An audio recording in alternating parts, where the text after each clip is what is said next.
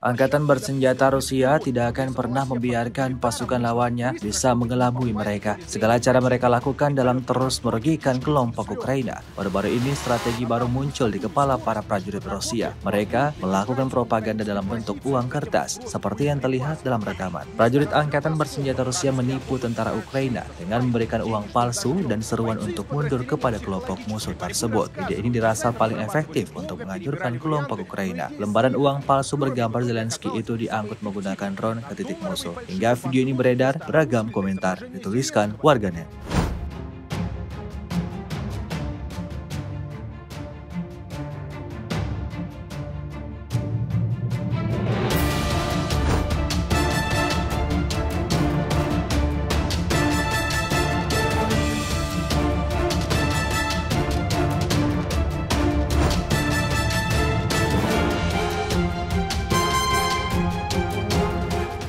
Площадку для пуска беспилотника в лесополосе под угледаром нужно быстро, чтобы не попасть в поле зрения противника. Предполетные настройки, птички и взлет.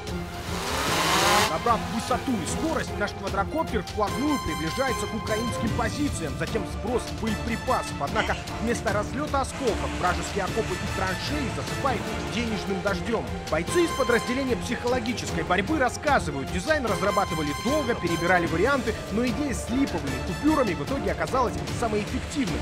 На долларовой фальшивой банкноте вместо Рузвельта изображение Зеленского и призывы отказаться от ведения боевых действий. Рядом номер радиочастоты 149-200 и телеграм-канал наших вооруженных сил, куда в экстренном случае каждый военнослужащий СУ может обратиться за помощью и получить инструкцию, как добровольно и безопасно сдаться.